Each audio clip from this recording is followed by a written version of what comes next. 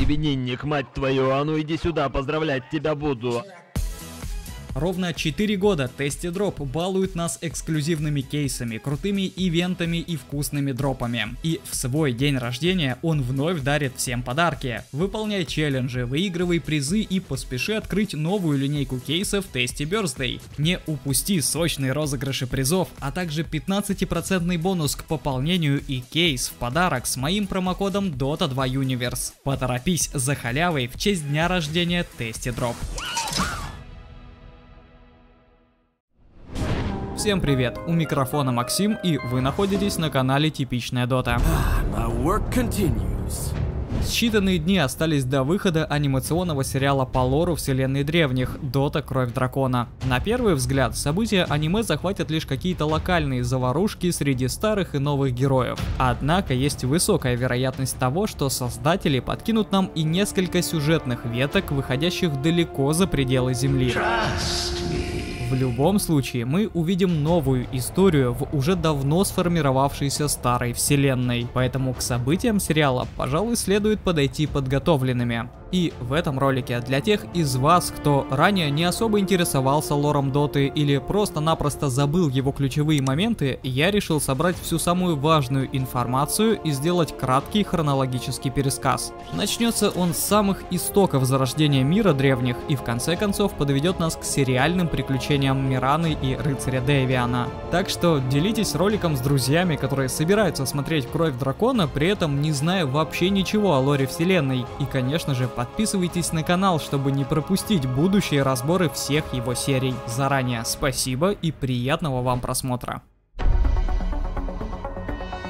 Сценаристы Valve в лице Марка Ледлоу, писателя-фантаста Теда Косматки и Криса Катца подошли к созданию своей уникальной вселенной через призму общепринятой космологической модели. То есть взяли за основу реальные теории и астрофизические постулаты и адаптировали их под свое видение фэнтезийного мира.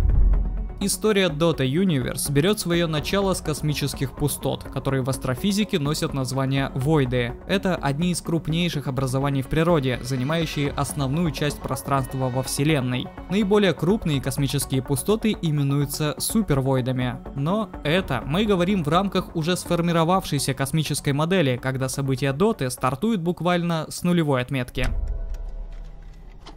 Time is money. Before there was the Spirit, there was the Void. Before there was anything, there was the Void.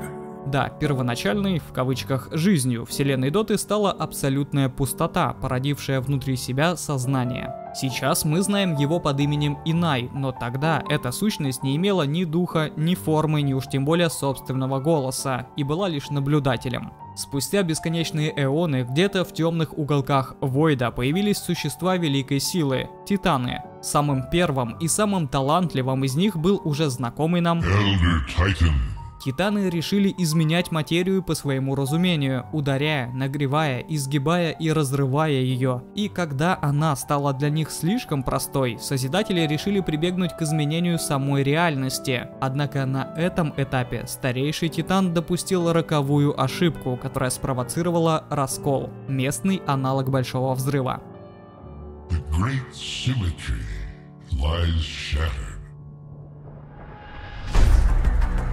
Реальность буквально разлетелась на бесчисленное множество осколков, а из так называемого единства вместе со взрывом были освобождены четыре фундаментальных силы. Проводя параллель с нашей физикой, Chaos Knight представляет собой сильное ядерное взаимодействие. Его главный соперник, которого представитель хаоса слегка ошибочно винит в расколе Keeper of the Light, является олицетворением слабого взаимодействия. Да, в момент большого взрыва Эзолор был инициатором отделения от своего собрата, что также является символичной отсылкой на функцию слабого взаимодействия, ответственного в частности за процессы бета-распада атомных ядер.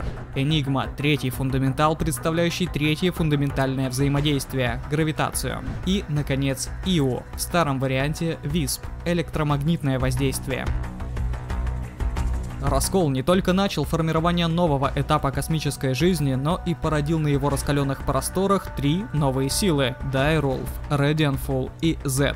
Первые две древние силы были полными противоположностями друг друга и вели бесконечное сражение, что наносило существенный вред еще пока шатко формирующейся реальности. Z был нейтральной силой, а потому быстро устал от конфликтующих сородичей. Пока те были сосредоточены на войне, он собрал все свои силы и заточил братьев и сестер в сферу, ставшую их тюрьмой, а затем и вовсе отправил ее дрейфовать по космосу. В конечном счете тюрьма прибилась к орбите неподвижно охлаждающейся планеты и в итоге стала ее вторым спутником.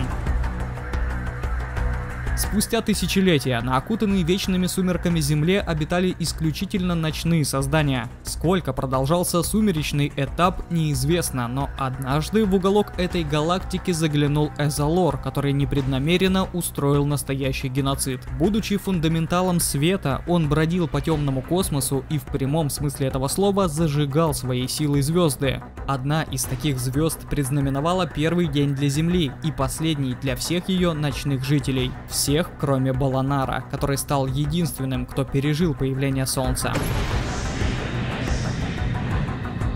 Когда жизнь на Земле закипела уже в полной степени, тюрьма двух древних получила от жителей свое каноничное название – Безумная Луна. А безумной ее прозвали потому, что из-за своей внутренней силы Луна светила над Землей так ярко, что иногда могла конкурировать даже с яркостью Солнца. Вторую же Луну, ставшую впоследствии символом богини Селемины, на фоне ярчайшей Мэдмун символично назвали Moon, то есть темной Луной.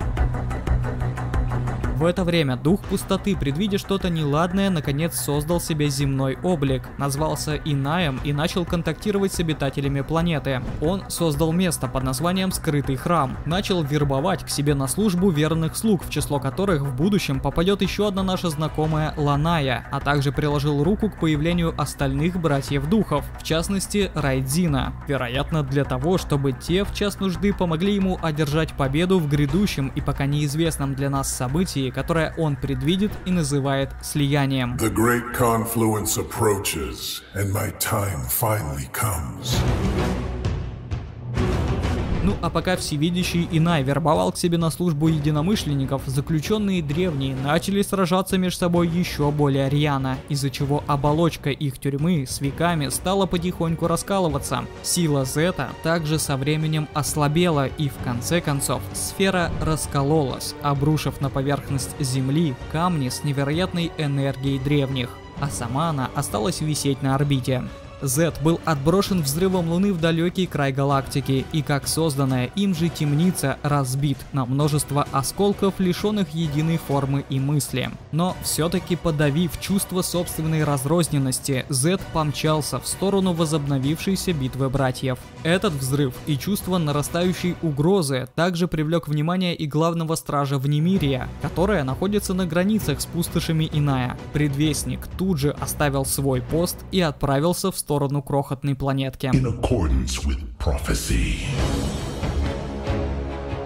Пока земной мир был окутан временным хаосом после раскола безумной луны, демон-кузнец Обзидиан воспользовался ситуацией и выковал из фрагментов легендарный ныне клинок Демон Эйдж, который после его же и убил. Лезвие кузнец изготовил из руды света, а рукоять из камней тьмы. Сами же древние посредством наиболее крупных осколков начали испускать чистую энергию, искажающую и порабощающую обычных существ, героям же дарующую ману и бессмертие.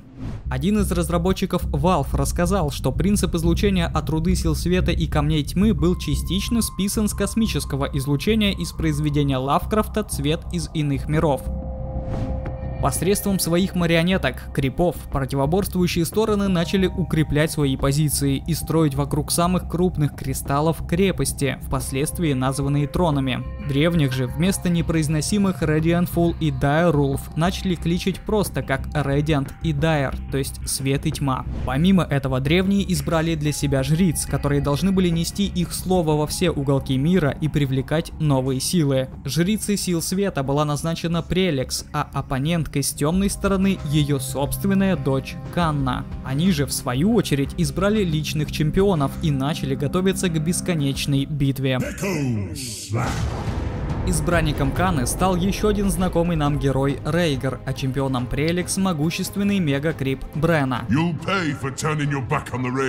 Параллельно с этим, в другой точке карты первые ростки пустил военный конфликт между армией Красного Тумана и Бронзовым Легионом, в который чуть позже был также вовлечен и лесной народ Воулов во главе с переметнувшимся Риксом. Вместе с этим, в еще одной лесной локации уже эльфийский народ начал вспоминать пророчество о возвращении истинной богини Луны, Мене, которую ранее, по еще неизвестным для нас причинам, сместила уже упомянутая Силимина. И пока одни предводители разрабатывали планы порабощения других, Террорблейд продумывал план побега из демонической зеркальной тюрьмы, а одна из сестер Вуали исполняла свой очередной заказ. Где-то в далеких землях драконов молодой рыцарь Дэвиан и принцесса Солнечного престола Мирана готовились к своему новому захватывающему приключению абсолютно не догадываясь, чем же оно впоследствии для них обернется.